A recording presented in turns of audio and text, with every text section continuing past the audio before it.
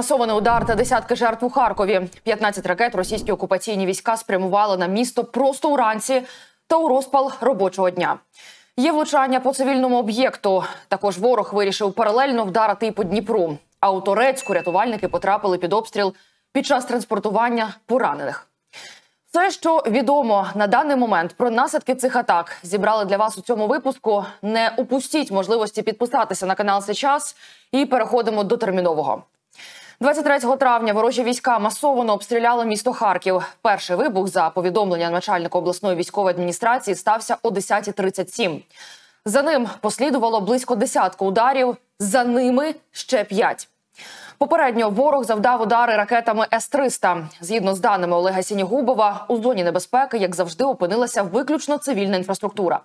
Передусім атака торкнулася Основ'янського та Холодногірського районів Харкова. Підприємство, куди здійснено обстріл, цивільне це звичайна друкарня. Відео наслідки опублікує МВС. Далі без коментарів.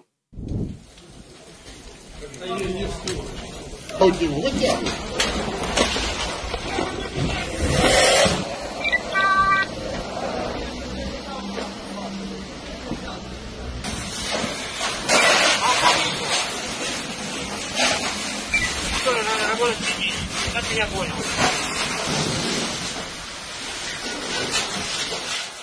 Це один із найбільших типографських комплексів повного циклу у Європі. Тож друкуються там практично усі українські книжкові видавництва, а також журнали, газети та інша поліграфія. У момент ворожих ударів там працювали близько 50 людей. Нині ж на місці влучання суцільне згарище. Не ходите далеко без масок. Это одна секундочка. Станом на 15-ту годину відомо про сімох загиблих, з них п'ять жінок і один чоловік. І це працівники підприємства. Дані однієї особи ще встановлюються. Будуть проведені додаткові експертизи. Постраждали за даними ДСНС 20 людей. Рятувальна пошукова операція триває. Давайте почуємо керманича області. Наразі триває ліквідація наслідків ударів.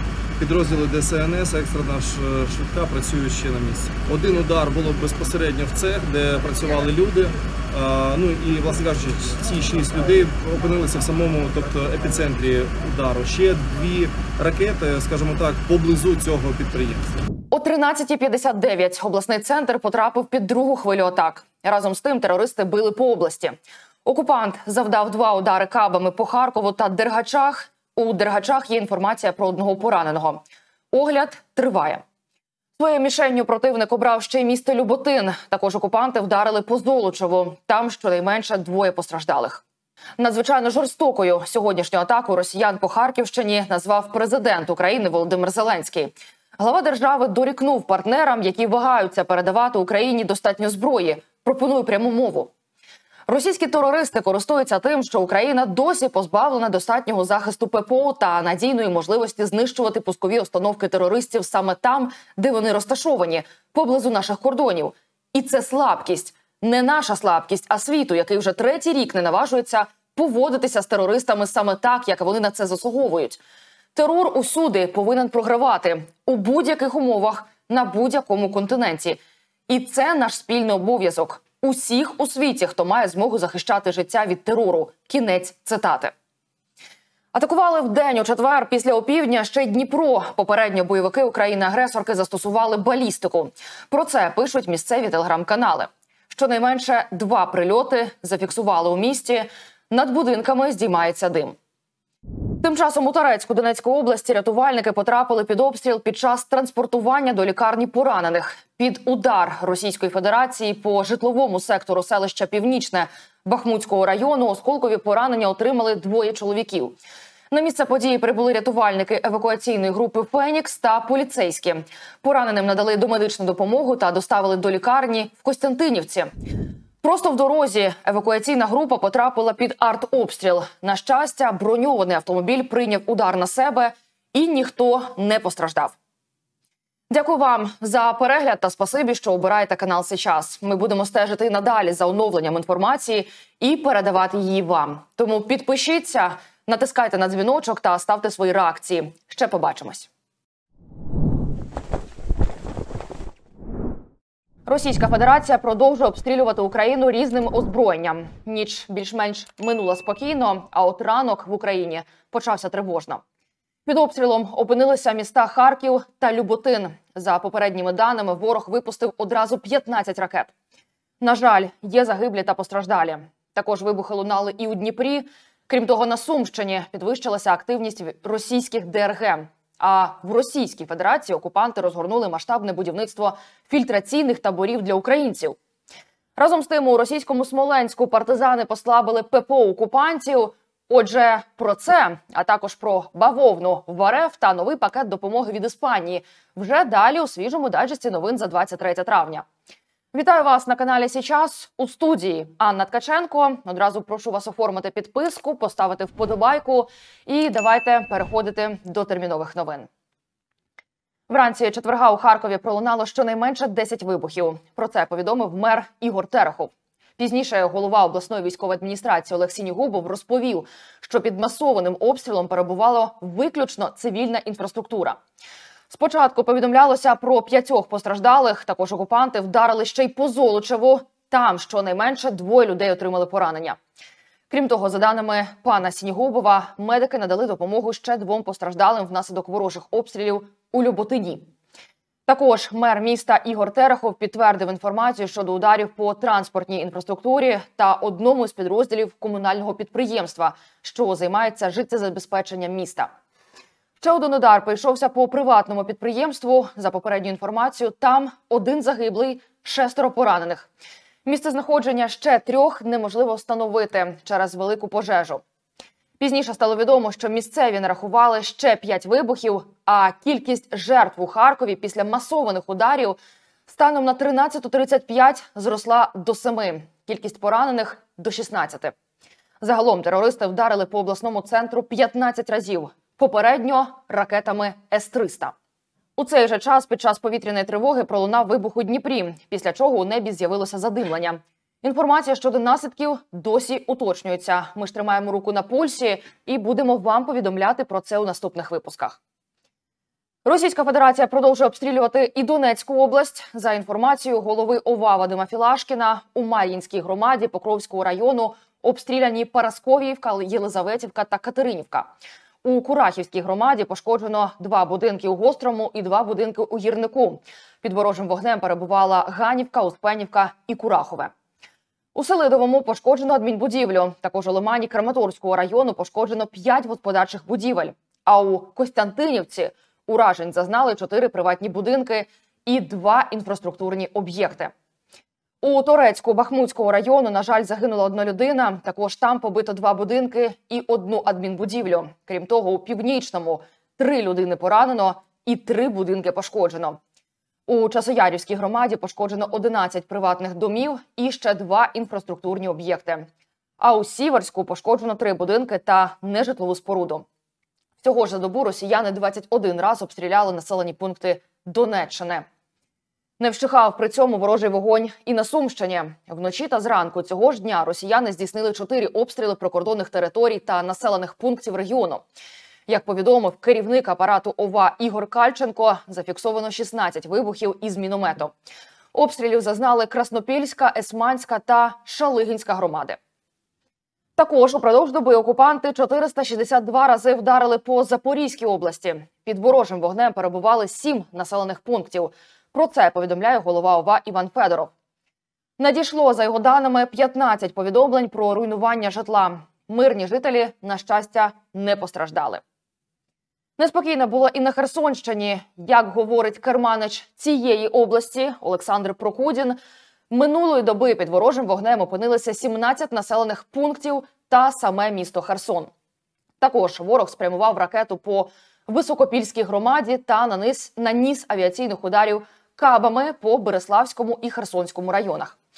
Зазначається, що російські військові поцілили у житлові квартали населених пунктів області. Зокрема, пошкоджено п'ять приватних будинків. Були зафіксовані влучення у стільникову вежу, промислове підприємство та приватний автомобіль.